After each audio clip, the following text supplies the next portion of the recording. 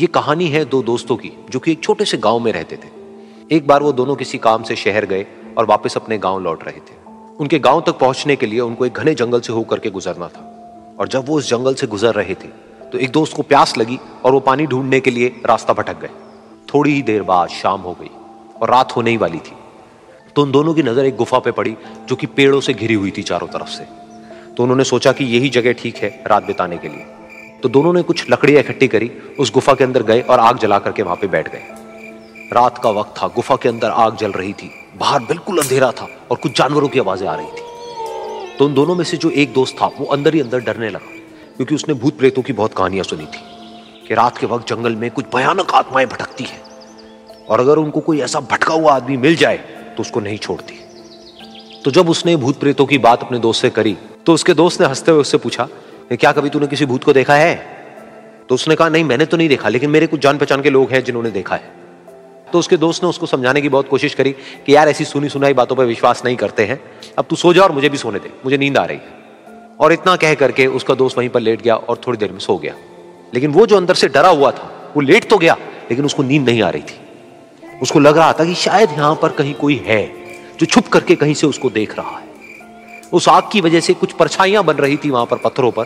तो उन परछाइयों को देख करके भी वो डर रहा था। फिर कुछ घंटे तक ऐसे ही चलता रहा। फिर उसके बाद में क्योंकि वो थका हुआ था तो उसको नींद आ गई। लेकिन नींद आने के कुछ देर बाद ही उसको एक सपना आया।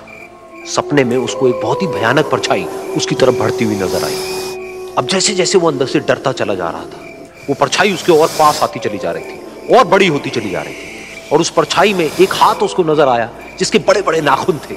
और वो हाथ उसकी तरफ़ बढ़ता चला गया और उसके गले तक पहुँचने ही वाला था कि तभी वो डर करके एकदम से उठा। फिर उसने अपने दोस्त की तरफ़ देखा जो कि सो रहा था, उसको पकड़ करके ज़ोर से उठाया।